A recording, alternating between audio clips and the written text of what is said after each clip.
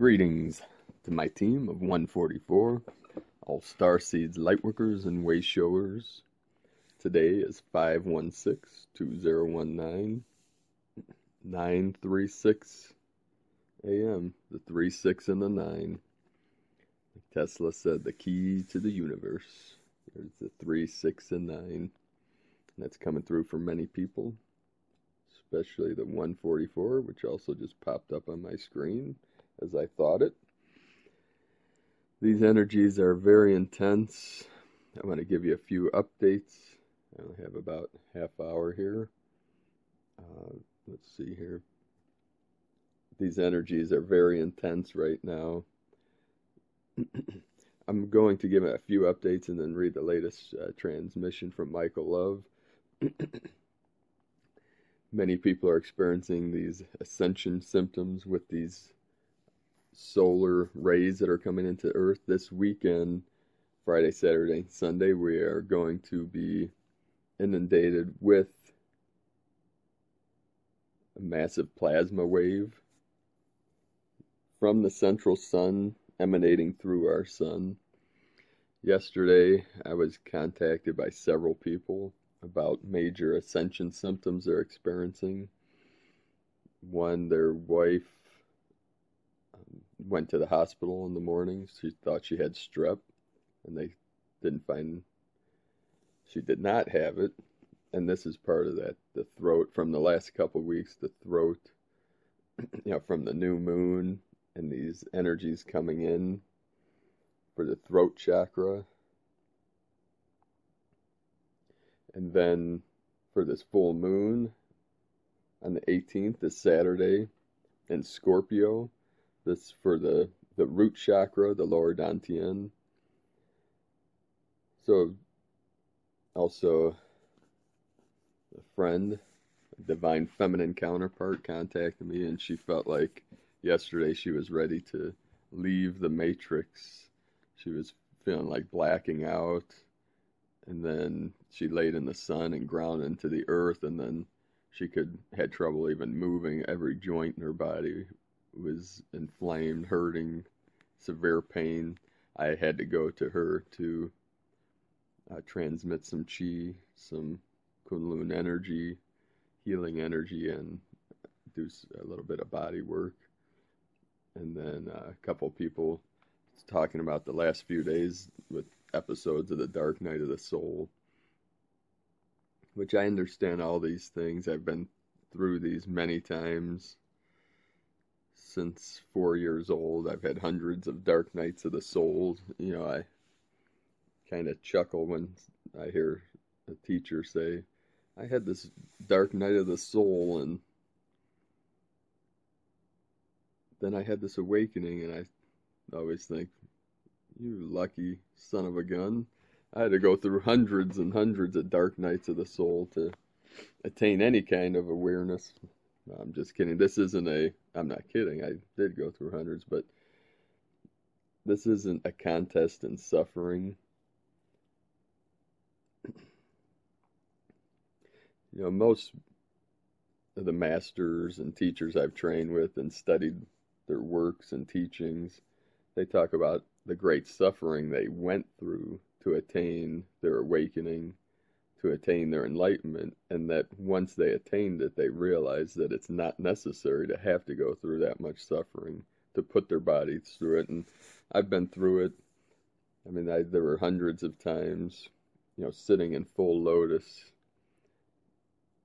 My late teens, early 20s, I would go to the temple, the monastery, and they call full lotus posture, where you sit with your right foot on your left thigh and your left foot on your right thigh. It's thigh. It's like a, you're almost wrapping yourself up like a pretzel. And as you sit there for a half hour and then an hour, I can't tell you how many times my legs totally fell asleep and it felt like knives were jabbing into my thighs and knees and but I would sit totally still and go into the silence to where like people that witnessed me at times there'd be you know most people are moving around and getting up doing whatever resituating people saw me sitting there and they'd come up to me after practice and say man you were sitting there like a mountain I didn't. They would watch. They said I couldn't even see me breathe because I would go so deep into the stillness. You didn't. I watched you the whole time, and you. I didn't even see you move once because I was pretty extreme. You know, I thought that's how the master sat, so that's how I'm sitting. You know, I'm being Taurus. I'm pretty stubborn, but I can't tell you how many times. Every time you sit like that, at least for me and most people, your legs totally fall asleep because it cuts off the circulation, at least one or sometimes both, and then your back sometimes as you're sitting there, you know, with a straight spine after a half hour, depending on the energies, it, you know, you can feel like someone's sticking a knife in your back. So the sensei or roshi, roshi, sensei is teacher in Japanese. Roshi is like master or teacher in Japanese, like the Zen masters, they call them Roshi, R O S H I they would come around with this like bamboo type stick. It would freak people out sometimes. But as you as they're walking behind you, you bow and they hit you in the shoulders. They whack you with them, but that gets the chi flowing through your body, and it's almost uh, you look forward to it because it it's that moment where it's not that it's abuse, but people sometimes would see you getting whacked with a bamboo stick. but it was hit in a certain way where they hit acupuncture points in your in your um, what do they call those? Your traps or whatever. You know, your from your shoulder to your neck, and it would get the chi flowing, and it would loosen up the spine and and get the energies flowing smoothly. So, but this we realize that once you realize your true nature, that that suffering wasn't necessary, but most people do go through that great suffering because that in that suffering, which I talked about that in the video yesterday about the lotus flower coming out of the mud, you know, the muck, the dirt, the filth, to come up, reach into this through the water into the sky, into the ear to bloom in this beautiful blossom. So that symbolizes, you see that like the Buddha sitting on the lotus flower because the lotus many times symbolizes the awakening or enlightenment because it's such a beautiful meta mystical plant. I also wanted to real quick talk about um, I'm going to talk about a couple things and then read the transmission, but um, last night I received another massive download in the middle of the night then woke up with the root chakra. Very sensitive, very intense energies. It's like the Kundalini waking up, you know, reawakening, that fire, the phoenix rising from the ashes. I'll talk more about that in a minute. I wanted to also, real quick, address um, someone. I talked yesterday about the sandhill crane walking up to me, and someone said it was probably a uh, great blue heron. And the only reason I mention that because I know how rare that is because sandhill cranes are more timid than some other birds. But I know the difference between a great blue heron and sandhill crane. I'm, I wasn't offended that someone thought I was mistaken because I, I know that's the only reason I mentioned it for a sandhill crane to come up to you. It's very rare, but this is another sign of what we're going to see on the new earth, where the new earth is manifesting, it's accelerating, and it'll be where the creatures, the animals of Gaia will no longer be afraid of humans. Because that's part of the vision that many people are seeing, where humans and animals walk hand in hand and you know the great blue herons that's one of my spirit animals and i've spent hundreds and hundreds of hours taking thousands of pictures. I've been doing nature and wildlife photography for 25 years and 10 years of that. I shot thousands of slides and in the last 15 years thousands and thousands of digital images. I just don't have time to edit most of them on my website, Nature Lover Photographer. I only have probably 88 because truthfully, I'd much rather be out in nature, going for hikes, taking photos and actually sitting in front of a computer and editing them. I wish I could find someone that would go through because all the slides would need to be scanned and then edited, uploaded, labeled. It's very time consuming, and then the digital images have to all be edited and uploaded and edited, um, labeled. So I just don't have the time. Very time consuming. I use Lightroom and Photoshop to edit those.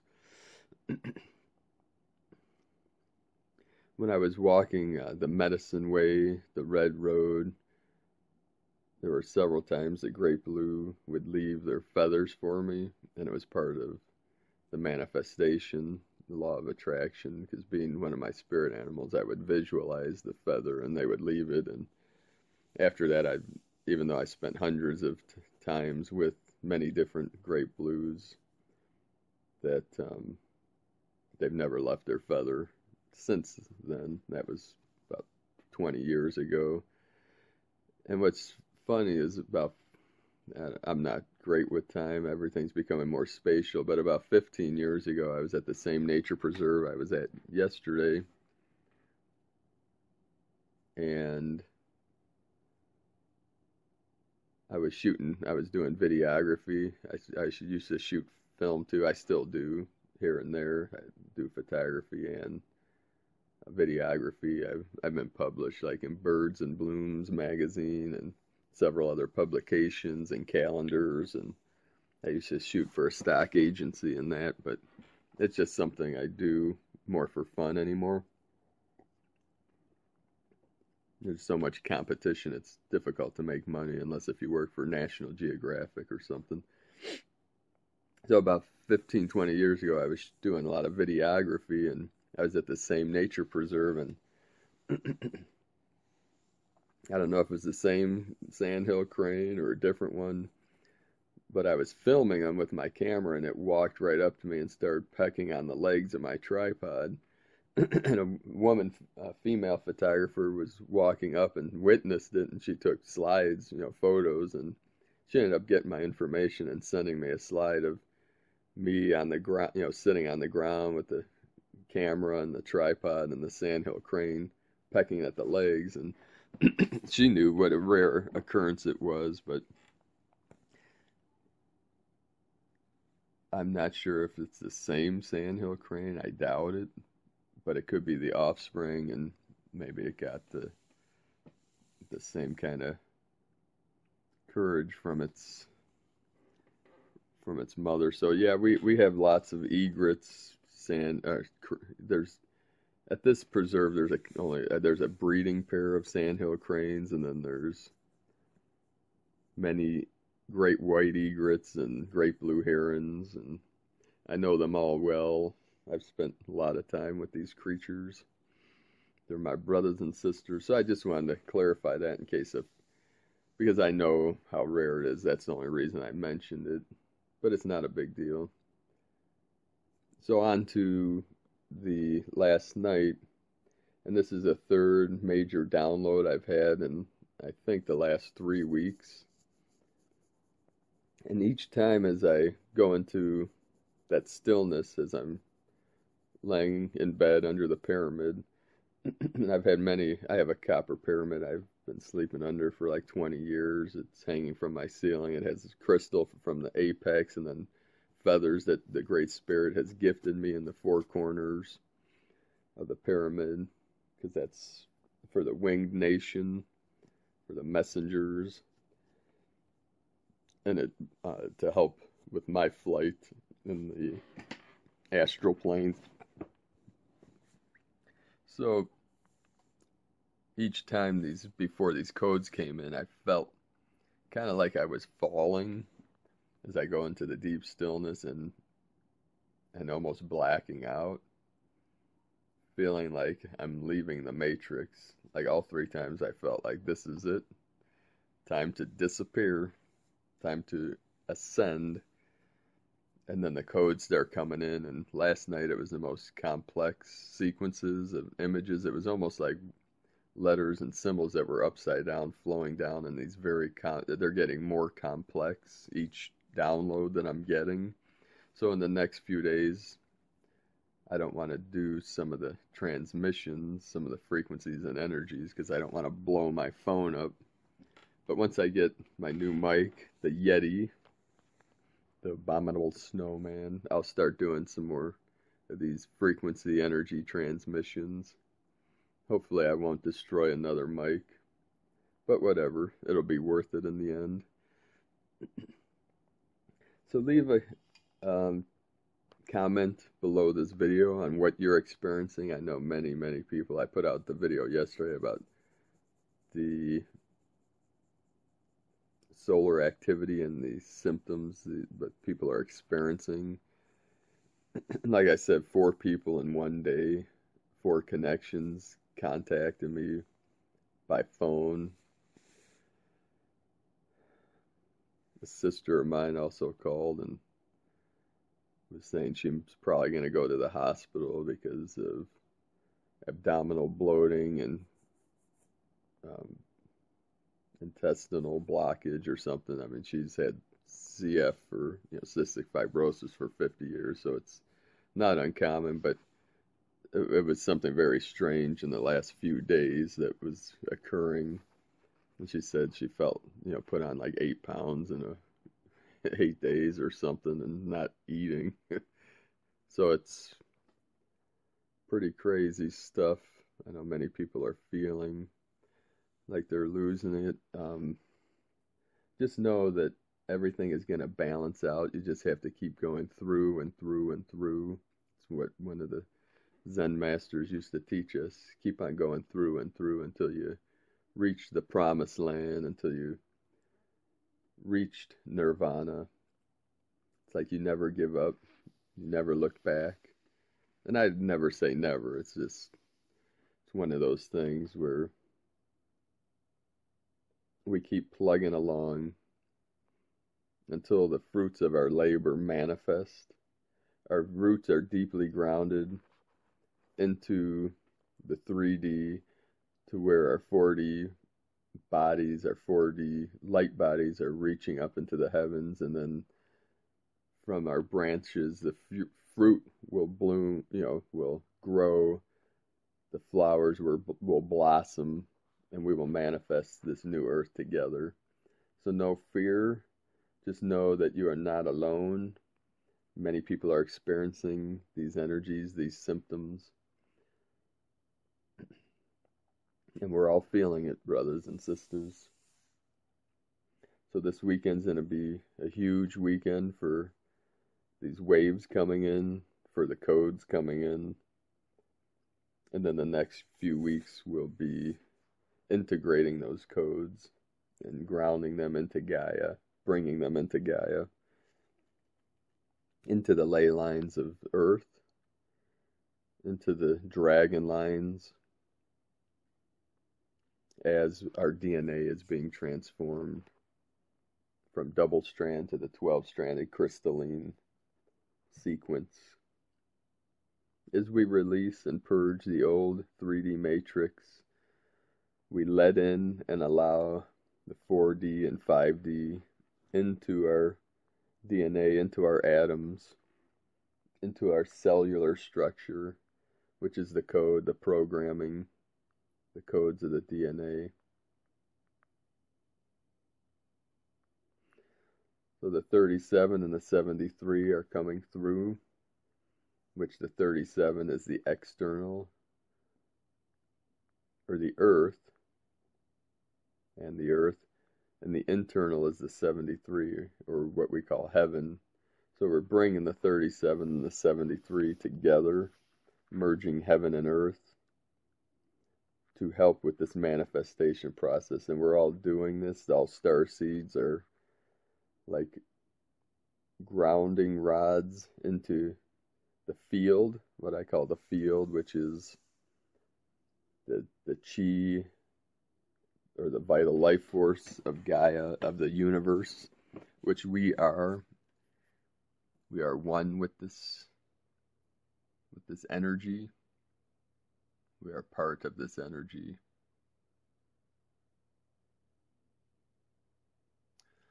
So today's, this is uh, from last night from Michael Love, or yesterday. the event, major DNA upgrade in progress, ascent, moderate ascension symptoms, 515-2019. Now he says moderate, but the people, it could be moderate to extreme for depending on what we have left to purge, what we have left to release. And that's based on my experience and what other light workers and star seeds that are contacting me are saying and experiencing. The Earth Alliance and Earth Space Weather Agencies are monitoring heightened activity around the Sun as light forces continue deflecting different frequencies of light from the central Sun towards planet Earth. A massive solar filament has turned direct Earth facing and is directing powerful gamma rays towards the planet.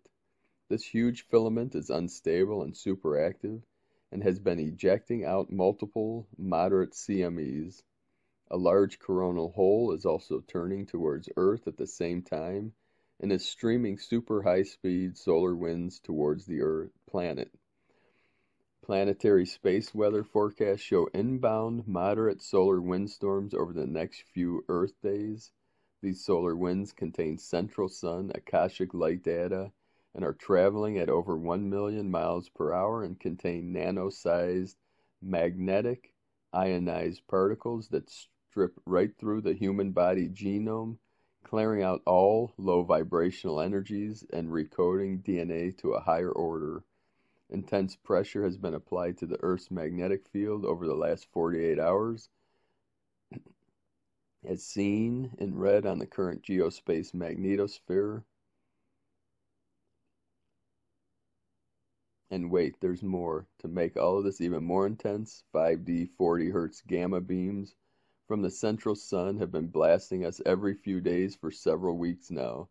These 40 Hz energy beams are being intelligently deflected to Earth by advanced, benevolent beings assisting with the ascension of the star seeds and humans on the surface of the planet. These powerful gamma laser streams originate from the central sun at the galactic core and refracted to Earth via massive light ships that are docked around the Sun. Russian DNA science proves that DNA is instantly recoded when subjected to gamma laser light. These 5D level energy spikes can be monitored on the Schumann resonance chart, also on our space weather tool page. And that's on 5dearthproject.com. Starseeds all around the globe have been reporting moderate to strong ascension symptoms over the last two Earth days. Here are some re reported ascension symptoms from the last light influx dull headache, accelerated dehydration, back, kidney pains, third eye pressure, sinus aches, feeling spaced out and disoriented, tiredness, sleep difficulty, and vivid dreams. These ascension symptoms are results of the natural DNA activation process that is occurring in this cosmos. There is no cause for serious concern as long as you hydrate, practice gentle self care, avoid stress as much as possible, get, get some rest and sleep, and just take it slow and easy until these light codes integrate into the body. You will feel super awesome and be more advanced and much stronger when this is done, so hang in there. Let us know what you're experiencing from this latest solar photon light blast. Godspeed, great beings of light. And that's from Michael Love and the Pleiadians. And I also have can confirm that these plasma waves this weekend are going to be more intense and help with this ascension process. So just be aware, be awake, get plenty of rest, drink plenty of water, get out to nature if you can. It also helps, you know, if you take a bath, you know, bring some crystals into the water. I like to put a crystal on my middle dantian, you know, that's the heart center, the heart chakra, in the center of your chest. As I lay in the water, I'll put um, use Epsom salt with uh, lavender and chamomile. You can do use aromatherapy, burn some incense right now. What is very beneficial is frankincense, frankincense and sandalwood. Also, you know, lavender is good to help relax the mind, relax the body. It's where the mind goes, the chi flows. So I'd like to thank everyone for joining me here today. I wanted to thank everyone that is joining us on our CBD team for to raise funds for the Ecuador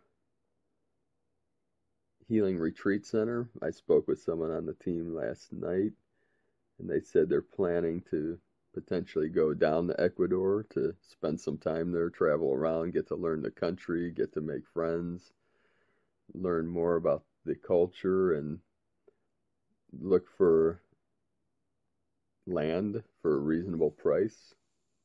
So I'll keep you up to date on that. We have I have several connections in Ecuador that own land and that a couple of them have a retreat type center and one couple husband and wife are engineers building sustainable buildings down there and they own a lot of property supposedly a lot of land which i have to follow up to to learn more about what they're doing but it's the whole project's in the development and research stage until I can raise enough funds to actually go there myself. I would need to spend at least a month to travel around. I'm looking many synchronicities with Vilcabamba, and it's spelled V I L C A M B A, something like that. V. See. It's on my uh, Prime Disclosure page under um, Tao de Ecuador. Yeah, it's V I L C A B A M B A, Vilcabamba. So if you'd like to contribute and be part of this fundraising project, we're using a company called CTFO that makes CBD products, cannabinoid oils that are organic and non GMO, high quality products. You can either click the link in the description below or, jo- or go to cbdpeaceoil.com and sign up as a distributor and I will be in contact in the future. I'm backed up a couple weeks because we have 180 people on our team and I'm trying to help as many people as I can to help build their business. So it's it's a process. I'm just one person, so I'm trying to do the best I can to help as many people as I can. And I'm also meeting with someone today that spent the last month in Nepal learning how to build earth domes, you know, dome homes made out of earth, you know, made out of dirt and sandbags and some other techniques. So I'll give you an update on that. I call them moon cocoons, or uh, other people have coined that term. They're these adobe type domes. I think the one company is called Cal Earth. They're in California.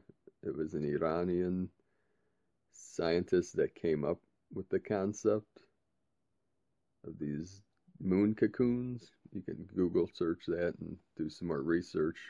But my vision is a is a huge dome in the center of the property, which would be a temple and a healing center. There'd be different healing technologies and working with local natives and shamans and other healers. We have acupuncturists that are contacting us, uh, body workers, yoga teachers, Reiki masters, you know, a whole many, many people, at least a hundred people have contacted me that want to be part of this project and it resonates with them. So I wanted to thank everyone for reaching out. I'm trying to keep up with all the emails, the messages, the comments. I'm doing the best I can, so thank you for your patience. Hang in there. Stay in the heart center. Keep walking your path with heart. and we are doing it, brothers and sisters. We are on mission. We are here to help all of humanity, all life, all beings through all dimensions, through this collective ascension process. So I wanted to thank each and every one for your connection, for your love, for your light, for sharing with us your experiences. Much love, light, and blessings. I love you all. Namaste.